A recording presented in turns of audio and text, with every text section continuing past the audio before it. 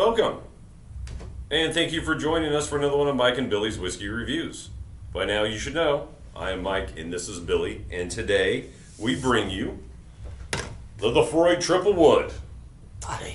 Billy, 48% ABV, non chill filtered, unfortunately artificially colored. It is our one, can I ask you a question? two, three, fourth, Because you're fourth. smarter than me and sexy. Why do they artificially color? You know, a Is lot. there, is there an actual reason for this? Like, I think that the reason why distilleries color their whiskey is I think people look at the whiskey color and say a, dark whiskey is better than a light whiskey. So I'm, if I'm going to spend fifty or hundred dollars, debatable. We have drank some whiskey. very champagne-colored whiskeys that will just knock your tits off. You know what I mean? so here's what I also don't understand. This is a green bottle, and most Islay whiskeys are in a green bottle. Lagavulin, Laphroaig, yada yada, and they're all artificially colored. I can smell the peat already. And why? It's a green bottle. Who even who even knows? Right. Well, when you pour it, I guess.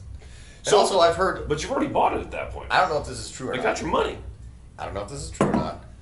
Uh, for instance, milk in a, cle- in a in a regular glass bottle milk, it will definitely affect the taste from the UV rays hitting it.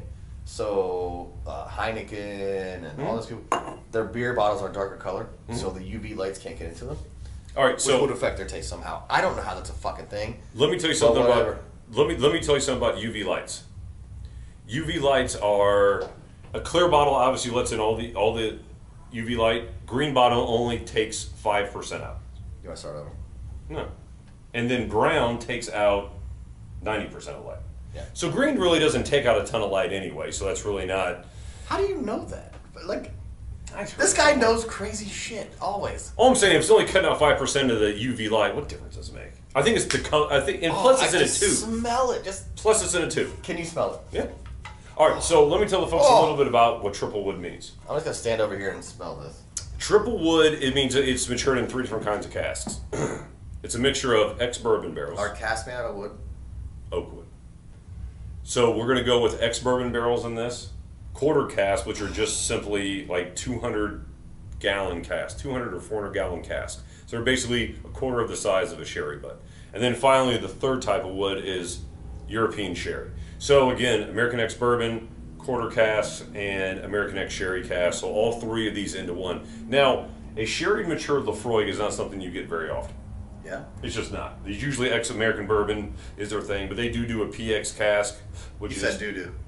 they do do. You're right. They do have a PX cask, which is Pedro Ximénez sherry. So I would imagine. We've been drinking. So I would imagine it's Pedro Ximénez sherry, quarter cask, and then an ex American bourbon barrel. So again, this should be your typical punch in the face of a Laphroaig with a little bit of sweetness from um, the sherry cask. But instead of guessing, let's figure There, out. there is a weird sweetness. I'm not gonna lie to you. There is a weird sweetness. But the very first, the very like you guys might have seen me smile when I'm sitting over here. The very first thing I caught was like a smoky, bacony. I tell you what, Bill, everything's in this nose. Ever, literally, Amelia's feet are in them. So it is that typical Laphroaig smoke, but then sweetness from the sherry cask. A sweetness and nuttiness from the normal Laphroaig cask. Don't forget the peat. So yeah, super smoky. There's so many again smoky, medicinal, iodine. But the medicinal is so subdued. It's almost like you almost want more of it. You know what I mean? It's it, in that way it's sort of similar to um, Ardbeg Uigeadail, where man, it's smoky and it's peaty, but it has this overcoat of sherry from the sherry cask. Oh, yeah. probably just has a little bit of in the sherry cask in Yeah. there. Yeah. Like you, I, kind of want more of it. Like I'm like, I'm searching. I'm, I'm literally like looking for more. And what I hear, Billy, is this is not three casks that are combined together. It's a bunch of ex-American bourbon barrels, maybe aged for five years. This is a guess, by the way. Maybe aged for five years. So put in a quarter cask for a couple of years, and then those same quarter casks shoved into a sherry cask for the final maturation, maybe for I don't know, a year or so. It's like a turducken.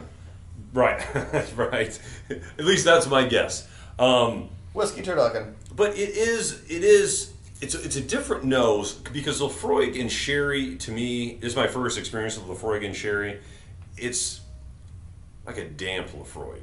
It's a musty, damp Laphroaig on the nose as compared to the super medicinal 10 year old, 18 year old um, quarter cask Laphroaigs that I've tried in the past. Anyway, Bill, what are you getting on the palate, my friend?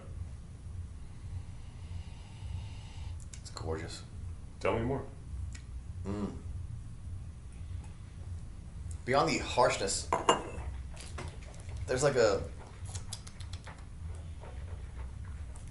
Oh my god! I gotta, I, I gotta try one of that.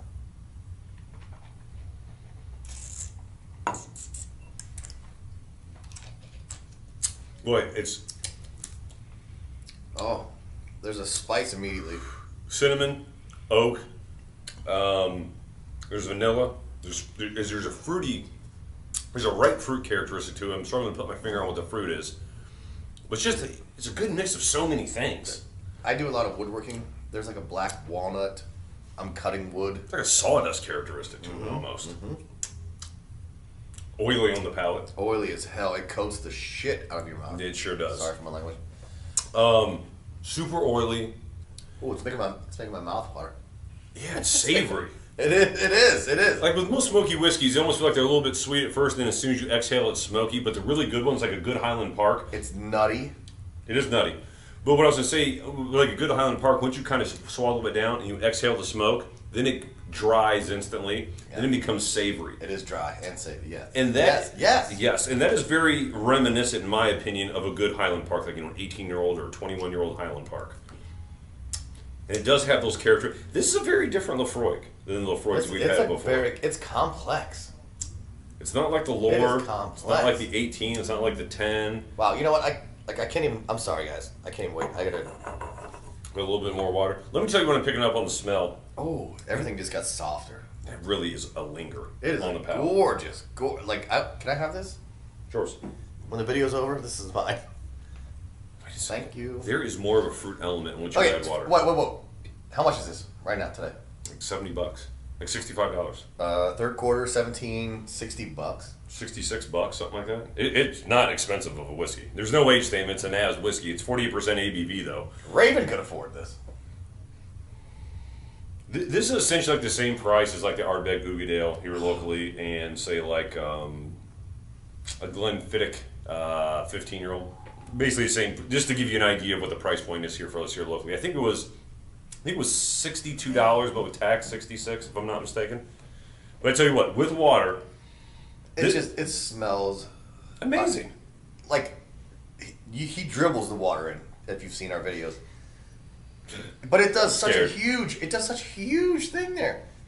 This again, It's so much softer and sweeter, and like I want to take a nap on it. If it was a pillow, I would just curl with it.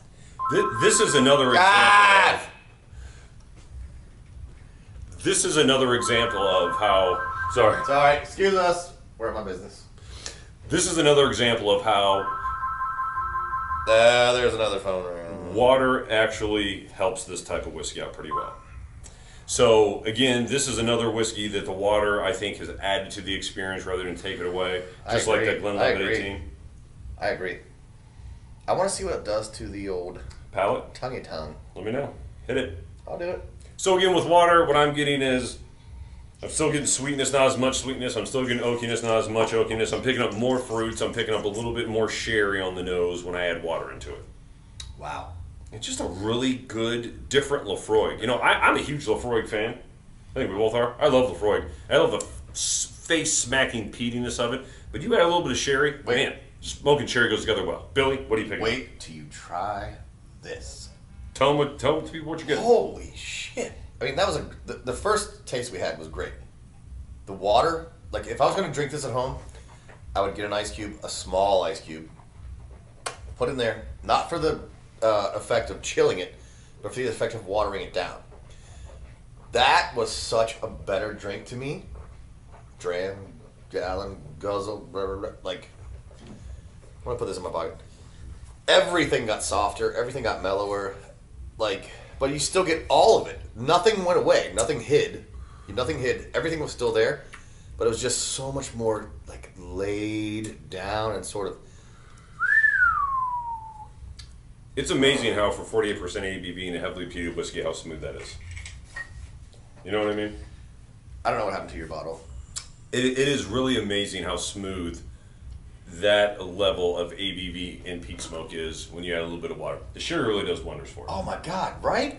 It's so sweet. You know, I've heard mixed reviews on this whiskey. Some people are like, "Oh no, if you like People either hate it or love it. Yeah, yeah. Even people who love Laphroaig hate it or love it. But to me, this is really a nice piece of work from Laphroaig. Um, I'm not I, age statements. I'm not scared of, but I tend to be more critical of a non-age statement because I'm just assuming it's a younger whiskey. But sometimes you really put together a nice combination of flavors, and this is absolutely one of these type of whiskeys. Billy, where you at as far as the score? I'm gonna be honest with you. I'm at an 88.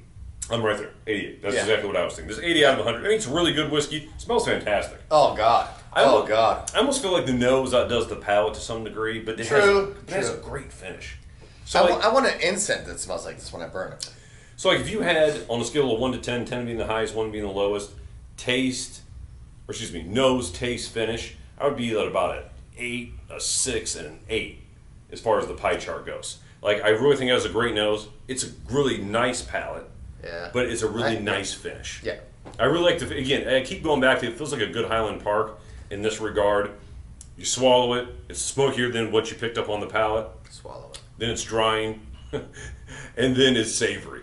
It has that savory, it is very savory. meaty, savory, smoky It is. characteristic to it. So yeah, we're both an eighty out of hundred for the for the amount of money this is. Sixty-six bucks roughly, Holy. including tax here in Columbus. He's not getting it back. Um, it's a buy. I mean, I mean, why not have this one? you bought it. I mean. Uh... It's a buy. It's All a buy. so, if, if you don't mind, we got to do a little bit of uh, business right now. Like, share, comment, sh- obviously share. Share. Obviously. Why would you not share this? Are you kidding me? Share. Share the love. And subscribe. Please. Yeah, Please. yeah, You, you've made it this far. Smash the like button. Comment, though. Comment. He will get back to you. This is the guy. Every single comment that's left, every message we get in our inbox, this is the actual guy you're talking to. This is not like a computer fucking program. Get with us. Let us know what you want us to drink. You know what I mean? Like, we love that shit when you guys tell us what to do.